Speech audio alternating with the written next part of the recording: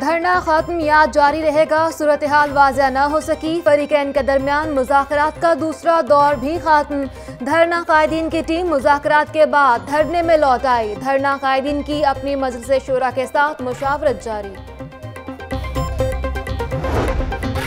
Mobile service بحالی کے ایک گھنٹہ بعد پھر بند۔ سیکیورٹی خدشات کے پیش نظر سارا دن موبائل خاموش رہے۔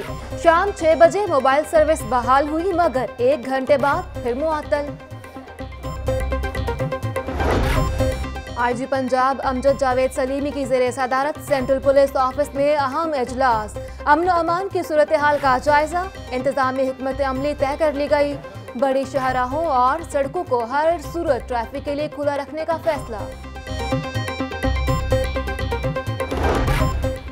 امن و امان کی صورتحال ترقیاتی کاموں پر بھی اثر انداز۔ شہر میں جاری میگا پروجیکٹس کو بریک لگ گئی۔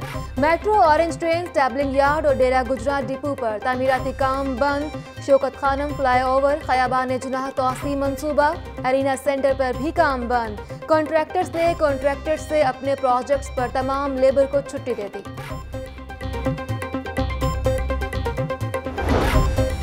پولیس کا جرائم پیشہ افراد کے خلاف کریک ڈاؤن تیز۔ گرین ٹاؤن پولیس نے تین سالہ بچی کو اڑتالیس گھنٹوں بعد اخوار ٹاؤن سے بازیاب کروا لیا۔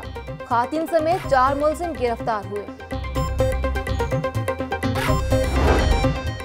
ذائقے دار دودھ کے نام پر دو نمبری نہیں چلے گی۔ پنجاب فوڈ اتھارٹی نے ڈیری ڈرنکس پر مکمل پابندی لگا دی۔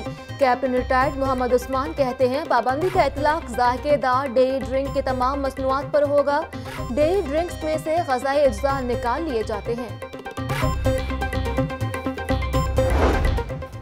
الجلال ویلفیئر ٹرسٹ میں زیر تعلیم خصوصی بچوں کی گورنر ہاؤس احمد چودھری سرور اور ان کی اہلیہ سے ملاقات۔ چودھری محمد سرور کہتے ہیں کہ دکھی انسانیت کی خدمت عبادت سے کم نہیں، خصوصی بچوں کی خدمت کرنے والے لوگ ماتھے کا جھومر ہیں۔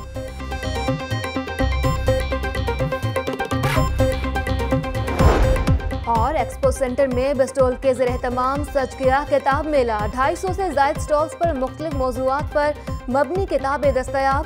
صوبائی وزیر میاں اسلم اقبال نے افتتاح کیا۔ مختلف کتابوں میں گہری دلچسپی۔ کہا، کتاب سے دوستی، کامیابی کی ضمانت، علم، شعور، آگاہی سے ہی معاشرے میں بہتری لائی جا سکتی ہے۔